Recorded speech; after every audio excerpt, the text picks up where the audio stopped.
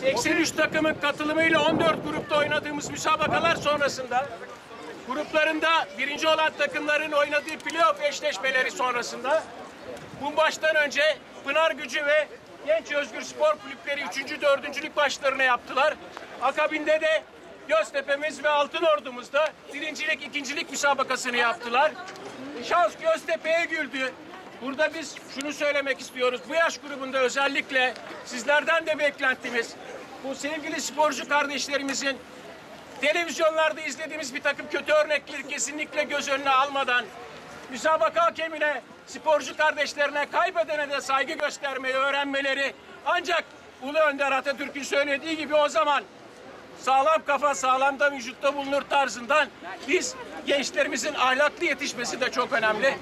Yürekten bugün bu başarıyı kazanan ekiplerimizi, başta yönetim kurullarını, teknik adamlarını ve sporcu kardeşlerimizi ve siz değerli velileri canı yürekten kutluyoruz ve tekrar başarılar diliyoruz. Öncelikle bu kategoriyi ikinci bitiren Altınordu Spor Kulübümüzün kupasını sevgili futbol ilk temsilci kardeşimiz Aytaç Kaygil takdim edecekler. Buyurun. Alıcı. Burdur Başkan burada biz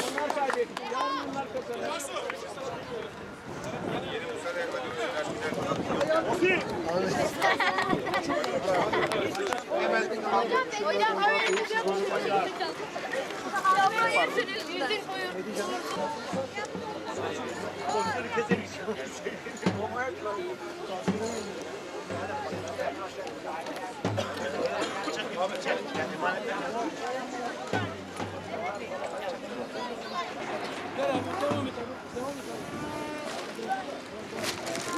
Yine aynı şekilde bu turnuvayı birinci bitirerek şampiyon olan Göztepe Spor Kulübümüzü de yürekten kutluyoruz.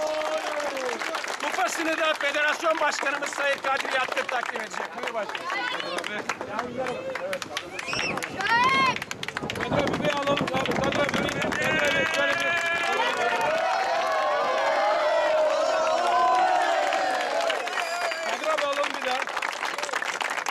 Murat'ım bir alalım.